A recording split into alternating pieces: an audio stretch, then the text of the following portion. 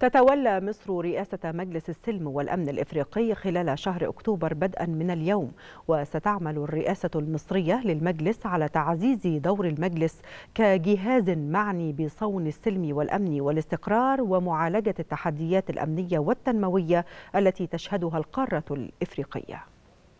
تحت شعار صون السلم والأمن والاستقرار ومعالجة التحديات الأمنية والتنموية التي تشهدها القارة الأفريقية تتولى مصر رئاسة مجلس السلم والأمن الأفريقي لمدة عامين كممثل عن إقليم شمال أفريقيا وسط سياق إقليمي ودولي معقد تتزايد فيه التحديات الأمنية وهو ما يتطلب تضافر الجهود والتشاور بشفافية لتحقيق أهداف أجندة الاتحاد الأفريقي الافريقي للتنميه 2063 وتتمحور سياسات مصر خلال رئاستها حول عقد مشاورات حول الرابط بين السلم والأمن والتنمية اتساقا مع ريادة رئيس الجمهورية لملف إعادة الأعمار والتنمية. مندوب مصر الدائم لدى الاتحاد الأفريقي محمد جاد أعلن أن برنامج السياسة المصرية لرئاسة الدورة الحالية لمجلس السلم والأمن الأفريقي يتضمن الترتيب لزيارة إلى بورسودان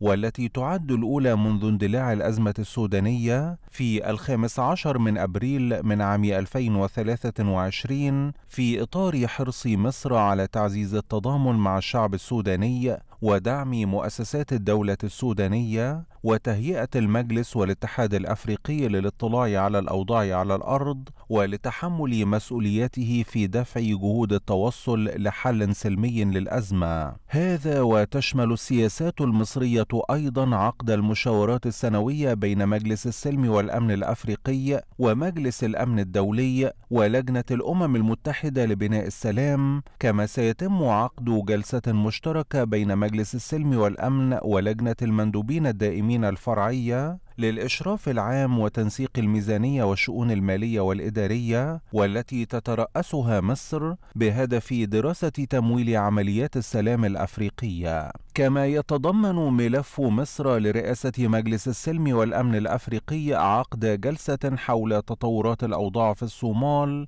وترتيبات ما بعد خروج بعثة الاتحاد الأفريقي الانتقالية بهدف دعم مؤسسات الدولة الصومالية في مكافحة الإرهاب وبناء واستدامة السلام فضلا عن عقد جلسات أخرى حول مكافحة الإرهاب في القارة الأفريقية والوضع الإنساني في القارة وقضايا المرأة والمناخ والسلم والأمن.